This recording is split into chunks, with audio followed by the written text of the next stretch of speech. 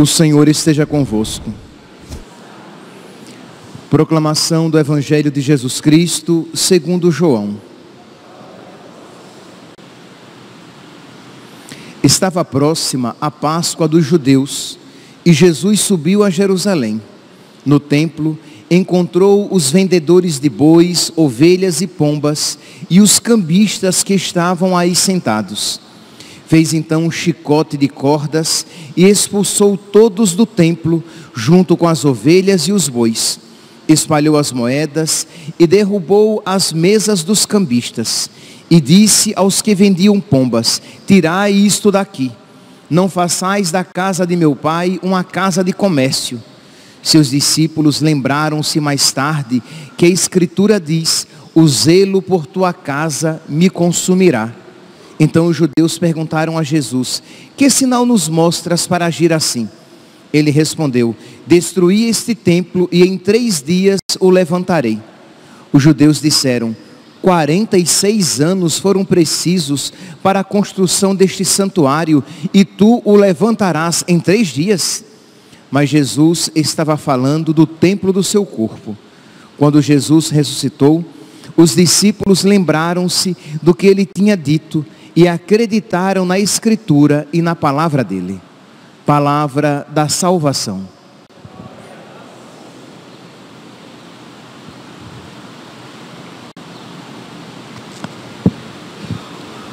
Caríssimos irmãos e irmãs, nós estamos celebrando a festa da Basílica do Latrão, né, da Arquibasílica do Santíssimo Salvador e de São João Batista e Evangelista no Latrão, a Basílica do Papa.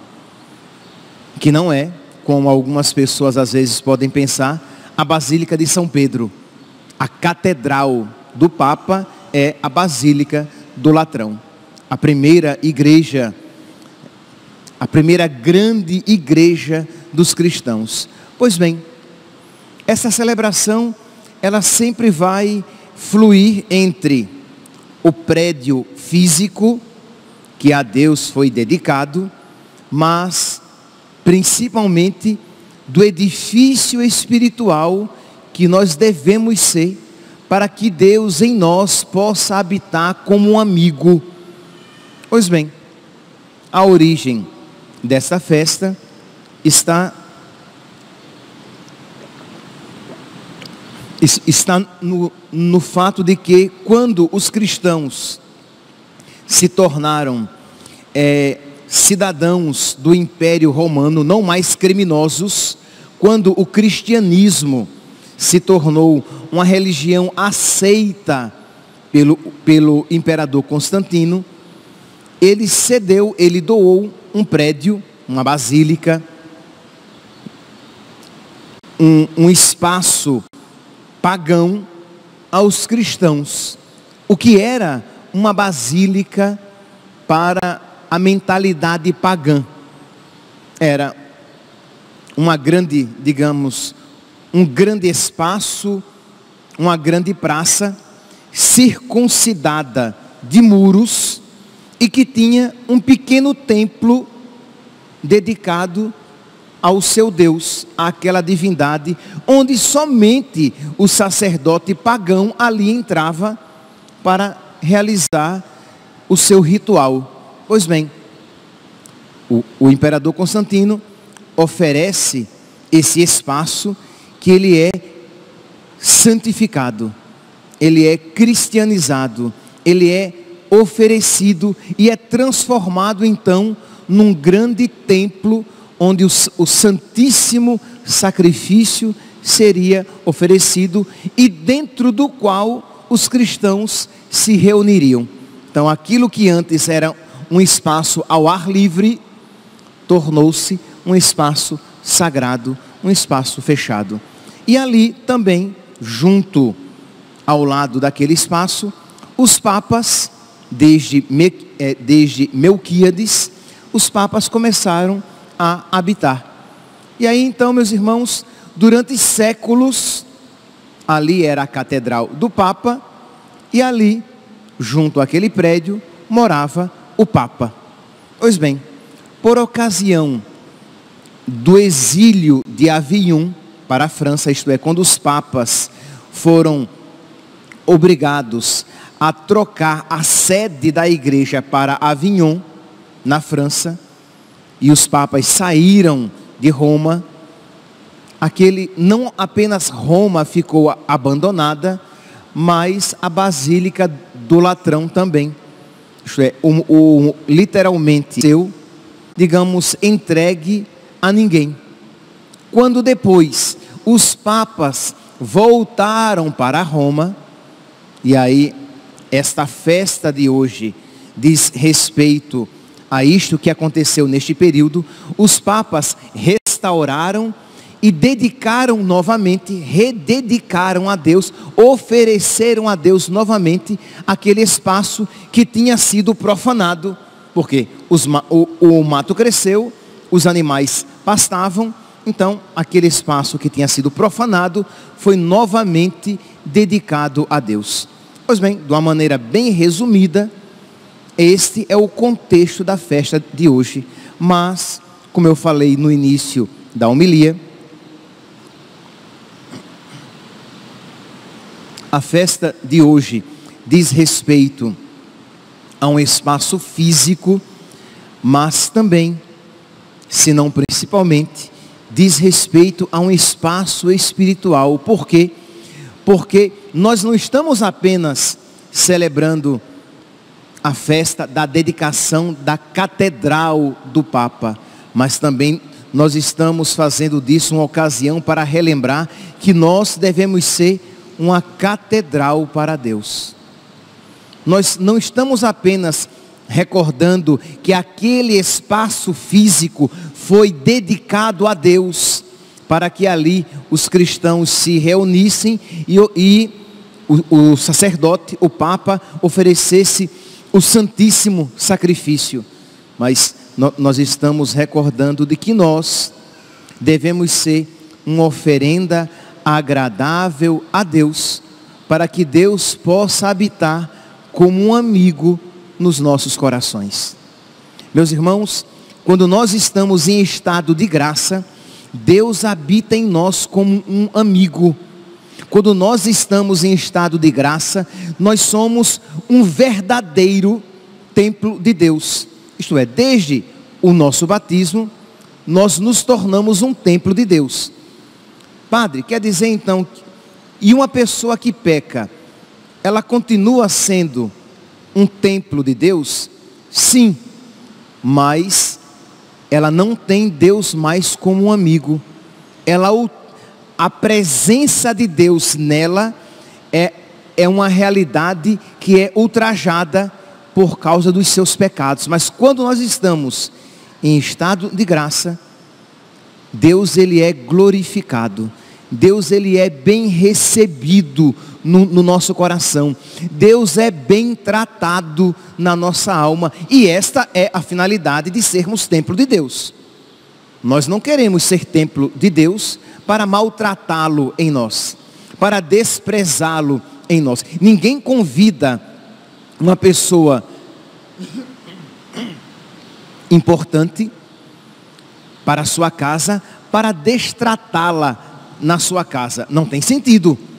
Você convida alguém para almoçar e aí você procura saber, sei lá, do que ela não gosta para preparar aquilo que ela não gosta. Você deixa a casa bem suja para que ela se sinta bem incomodada na, na sua casa. Não tem sentido. Ninguém em sã consciência faz algo assim. Pois bem, espiritualmente também isso não pode acontecer. Isto é, desde o nosso batismo, nós nos tornamos templo de Deus e nós devemos fazer o máximo possível para que Deus se sinta bem habitando no nosso coração.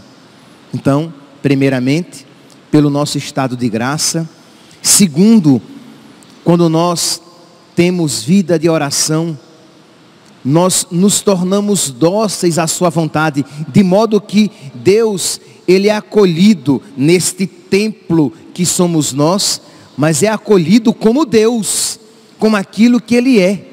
Então ele reina no, no, no, nosso coração. Ele não é mais um dentre tantos que habitam em nós. Não. Ele é, ele é o centro, ele ocupa o centro do nosso coração, porque ele é o nosso Senhor, é o nosso Deus, é o, é o, é o, é o nosso amigo, é o amado da nossa alma.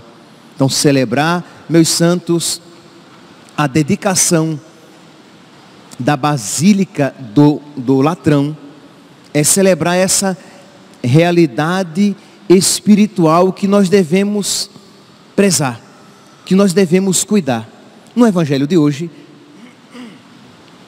nós ouvimos que Jesus ele purifica o templo, aquele templo físico, aquele templo, o templo de Jerusalém, que comparado a nós, perde infinitamente. O, temp o templo de Jerusalém, que era santo, o templo de Jerusalém, que quando Jesus viu profanado, Jesus fez uma correia, fez um chicote e purificou o templo. Pois bem, se Jesus se sentiu ultrajado, se, se Jesus ficou indignado pelo Pai não ser louvado, naquela circunstância daquele templo em que os cambistas ali vendiam pombas, como, como é que diz aqui? Vendiam pombas, vendiam, trocavam as suas moedas. Onde é que eu estou?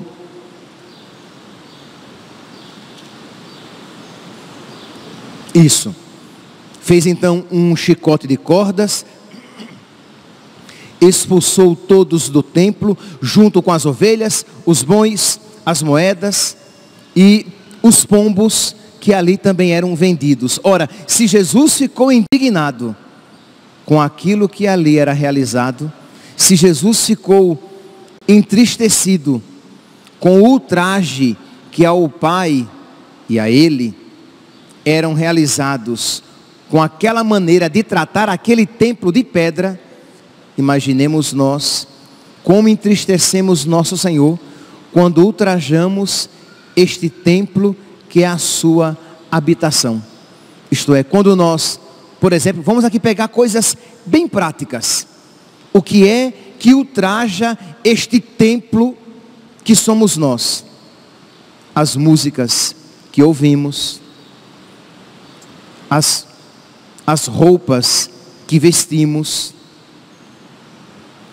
as coisas que deliberadamente vemos, isto é, sabemos que aquilo é desagradável a Deus, sabemos que aquilo ofende a Deus que habita em nós, e mesmo assim ouvimos, e mesmo assim vestimos, e mesmo assim vemos, e mesmo assim falamos, e mesmo assim fazemos, e mesmo assim pensamos, sabendo que com isso nós ofendemos a Deus que habita em nós.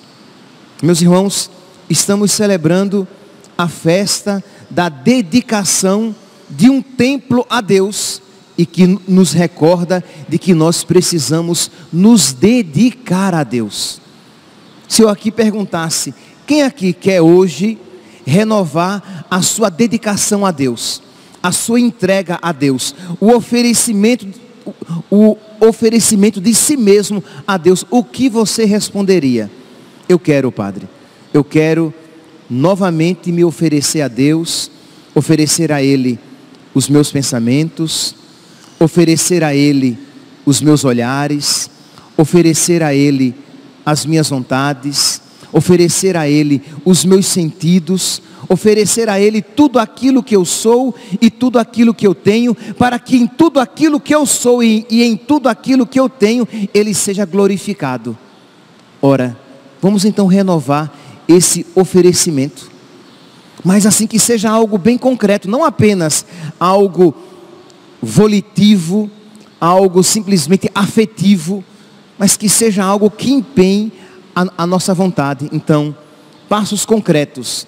Vou me manter em estado de graça e vou me esforçar para não apenas, é óbvio, afastar os pecados mortais, mas afastar também os pecados veniais que ofendem a Deus. Os pecados veniais que ultrajam a presença de Deus no meu coração. Eu vou cuidar tanto do templo espiritual, isto é, do meu estado de graça, da minha docilidade de, de vontade, para que Deus reine no meu querer, mas eu vou cuidar também do meu templo físico, que é templo de Deus, o meu corpo.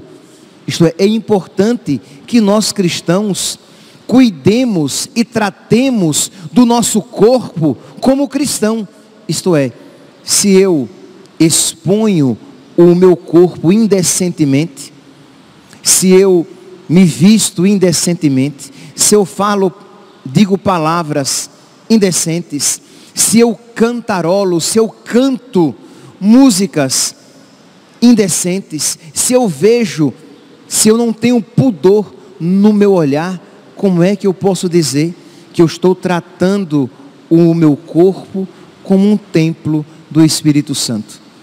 Então, de, se eu, por exemplo, também, se eu bebo além da conta, se eu como sem temperança nenhuma, como é que eu trato o meu corpo como aquilo que ele é, templo do Espírito Santo? Percebe, meus santos? Isto é, cuidar reger, gerir, administrar este corpo, não como simplesmente algo que me foi dado de uma maneira absoluta, mas administrar este corpo tendo consciência do que ele é, é templo do Espírito Santo, e cuidar da minha alma tendo consciência daquilo que ela é, habitação de Deus.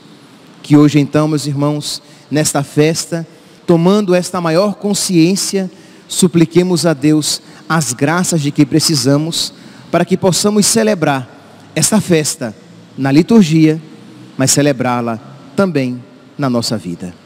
Louvado seja nosso Senhor Jesus Cristo. Para sempre seja louvado.